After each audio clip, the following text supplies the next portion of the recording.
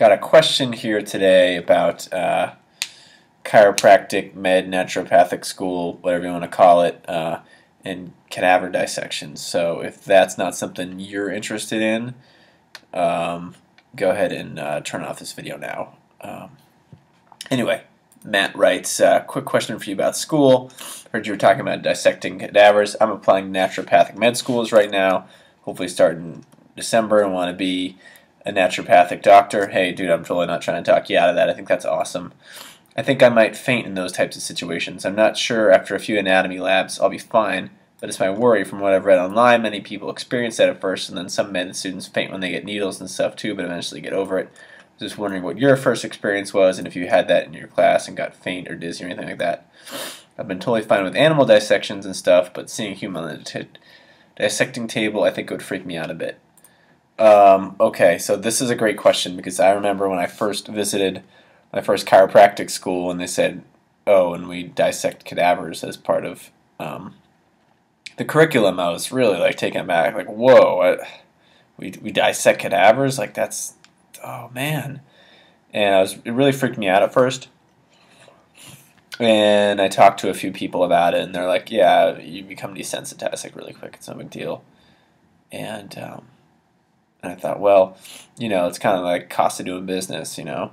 Like if I want to do, I really want to do this. Like, can I stomach like having to work with cadavers in a lab? Like, it could be a lot worse. Like, I really want to do this. It's, it's, it's the cost of admission. Like, that's that's what I'll just do. And so I got to say, the experience I acclimated to it a lot faster than I thought I would. Actually, it's um, it's really not that bad. I think you know, talk to a few other people about it and see what their experiences were. But you realize that the people that are there, their bodies, like they donated them and they want to be used for science, and it's nothing more than a body. Um, you know, the spirit's gone from it, and so I would say for me, like maybe the first one or two times we were in there, I was like, oh, that's kind of weird. Like I don't want to go near it, um, and it didn't really look like I thought it would look. Like it, I mean, because the, the blood's drained out and and um, you know there's embalming fluid, so it's not really messy. It's pretty dried out actually. Um, so like the first couple times it was like kind of weird, but it didn't faint or like throw up or anything like that. I was just sort of like I kind of don't want to go near it. Like I don't want to do the dissection. Like I'll just watch. And then I would say by like the third or fourth week of school, going in there twice a week, I was I was like, oh, it's no big deal. And now it's like I don't even think about it.